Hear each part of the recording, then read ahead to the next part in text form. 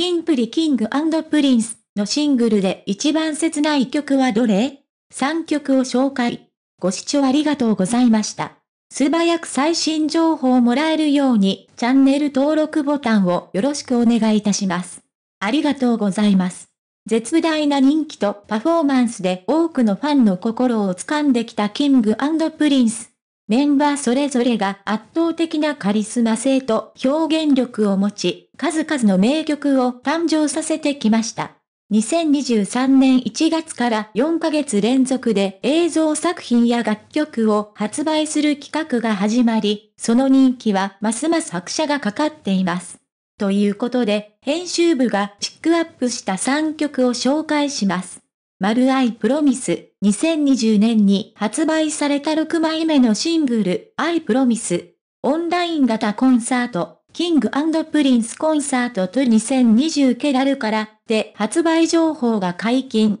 ウィンターラブストーリーに引き続き、セブンイレブン2020年クリスマスの CM ソングに起用され、ファンをときめかせました。曲のテーマは冬。世話しなく人々が行き交う雑踏の中で、冬の寒さと大切な人のそばにいられない悲しみを噛み締める男性の姿を表現しています。キングプリンスへの見事な歌唱力と、決して実らない恋と分かっていながらも、永遠の愛を誓う、その一途な思いが曲のはしばしからにじみ出ています。また、ドラマ仕立ての MV ストーリーバーでは、キングプリンスへのメンバーそれぞれがシチュエーションの異なるラブストーリーに挑戦。5つの物語が切なさを印象づけています。マルラビン YOU2022 年に発売された9枚目のシングル、ラビン YOU。平野志陽さんが出演する構成、ジュレーム IP の CM ソングに起用されました。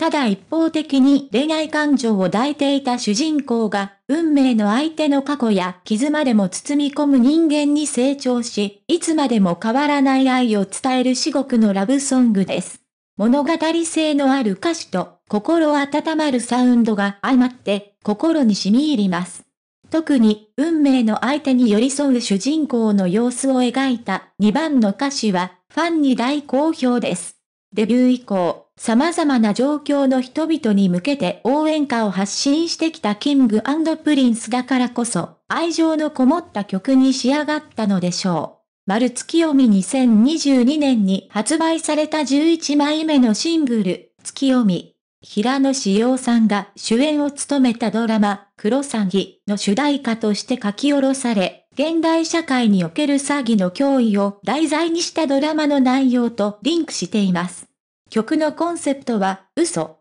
アップテンポなメロディーに乗せて、どこかで愛情を求めながらも素直に受け入れることができない複雑な感情を歌っています。哀愁を帯びたメロディーで始まり、サビに向かって徐々に激しさが増す。見事な構成です。振り付けは、リエハタさんが担当。高難度のテクニックを必要とすることで有名な一番よりもはるかに難しいです。キングプリンスへのメンバーがセクシーな表情を浮かべつつ、高次元のダンスを踊る MV は、再生回数が1億回を突破し、圧倒的な人気を誇っています。マルキングプリンスへのシングルで一番切ないと思う曲は？ここまで3曲を紹介しました。あなたがキンプリのシングルで一番切ないと思う曲はどれですか？コトーン。平野紫耀さんプロフィール1997年1月29日生まれ、愛知県出身。